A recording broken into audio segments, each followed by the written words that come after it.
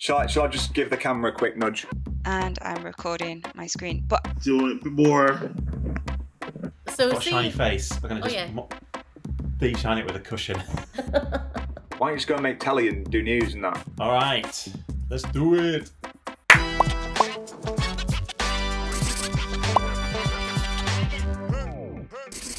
Hello and welcome to BBC R&D Explains, where we lift the lid on our big projects and chat directly to the people behind them.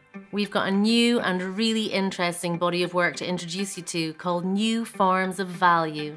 It's all about exploring what new data-driven services the BBC could provide in a way that adds value to people's lives. Here's what's coming up.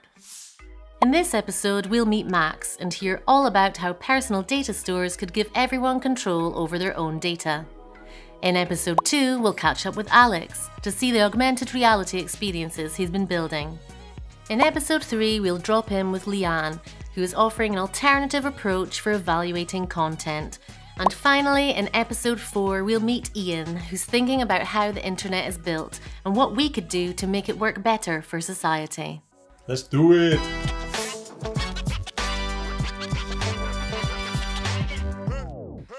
So that's already a lot to unpack and explain, so let's jump right in with fellow BBC R&D'er Bill Thompson, who's leading this work.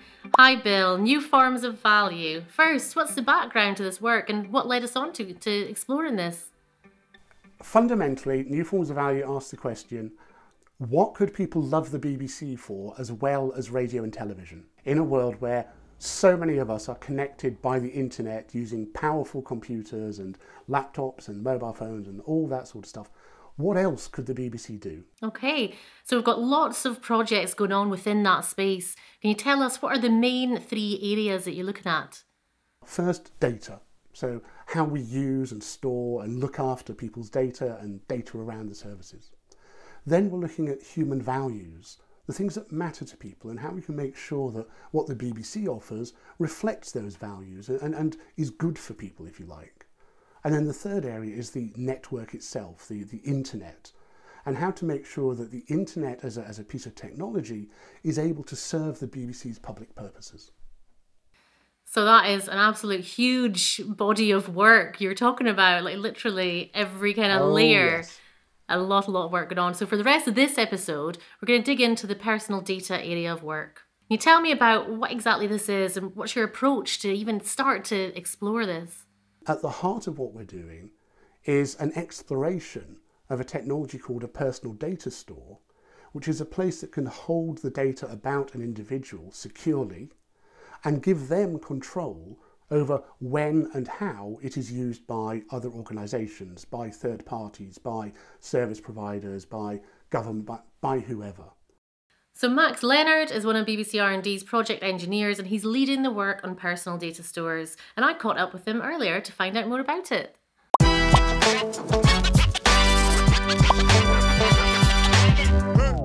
With me now is Max Leonard. He's a project engineer here at BBC R&D and he's doing some work on personal data stores.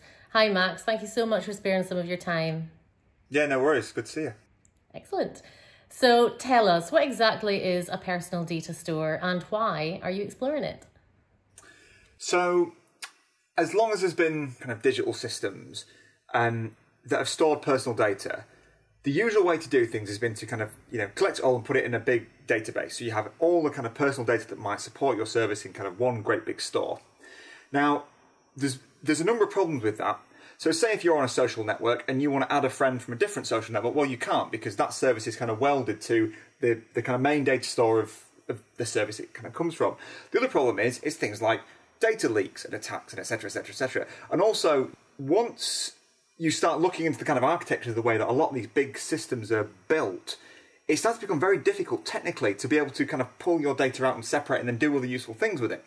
So rather than having your data sort of spread out in the big data stores of all the various services that you use, what would it look like if you had a single store for all your personal data that these services could come in and access on a per sort of transaction basis um, and use and then essentially forget?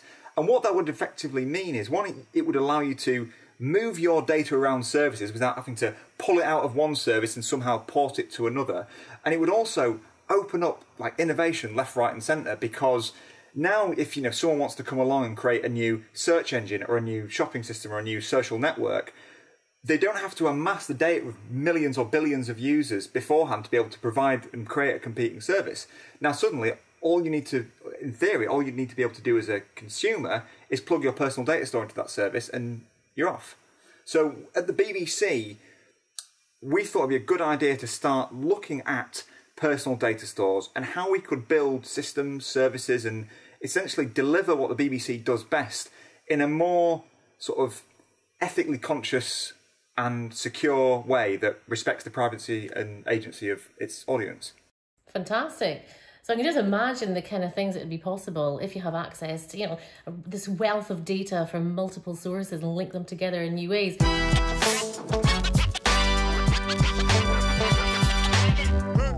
So, Max, a bulk of the work up until now has been building this personal data store platform. And one of the first services that you've built, you've prototyped to kind of try it all out, is the Recommender. So, can you tell us a bit about it and uh, how exactly it looks to the audience? What does the, the audience get out of it? Sure. So, basically, what this is, is we have such a massive backlog of material in the BBC that stretches back like 100 years of audio and video content. And discovery and discovery of that content, especially, you know, we've got tons of stuff that's kind of rights cleared and we could make available to people, but just finding it is really difficult. So we thought, wouldn't it be, wouldn't it be fun as a kind of first go at this stuff to be able to create a new recommender? So the basic way this thing worked is it, it you sign up for it, you log in with your BBC account, like any BBC service, log into iPlayer or whatever, and you get a personal data store created for you in the background. This personal data store is and yes, it's running on our servers, but corporately we can't access what, what goes into it. So you go through a process that then links your, um, uh, kind of existing media accounts. So that's it pulls in your BBC data and, and stuff from kind of your music streaming services and video streaming services. And then kind of gives you back a, a holistic media profile of the things you might like. So like the bands you might be interested, etc., etc.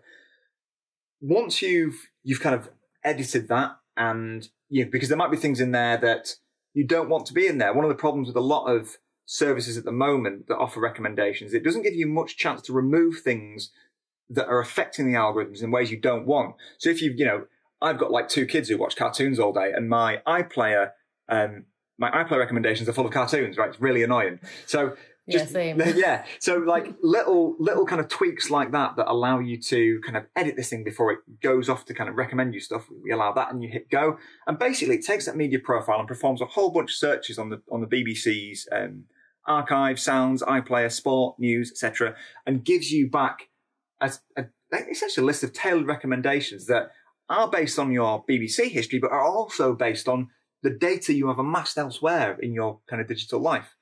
Um, and it's gone down, you know, very well. This is a very small internal prototype. I've got to say, you know, we're not going to be launching a service that does this um, anytime in the near future, but it proves the concept quite well.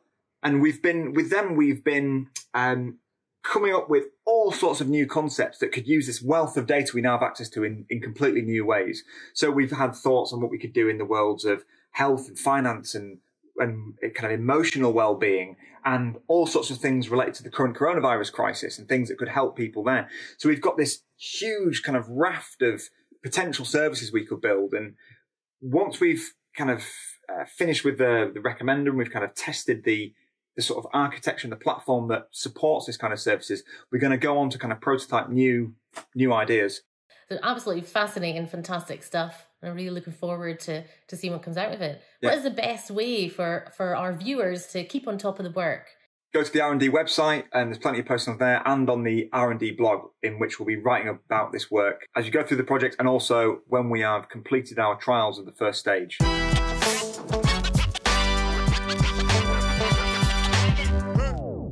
So Bill, we've heard from Max, it all sounds great in theory, but does it work? Mostly. Uh, it's an experiment. Uh, there are bits of it that are really tricky. We, we found some things that are really quite hard, getting all the bits to fit together. But yes, it, it is working end to end to the point where we, we're confident we can start showing it to people and getting them to, to try it out and get some real research data from users really quite soon. Well, that's it for this episode. As always, let us know what you think in the comments and don't forget to like and subscribe. And tune in next time where we'll meet Alex Nelson and get a first look at some brand new AR experiences he's built, all with public service in mind.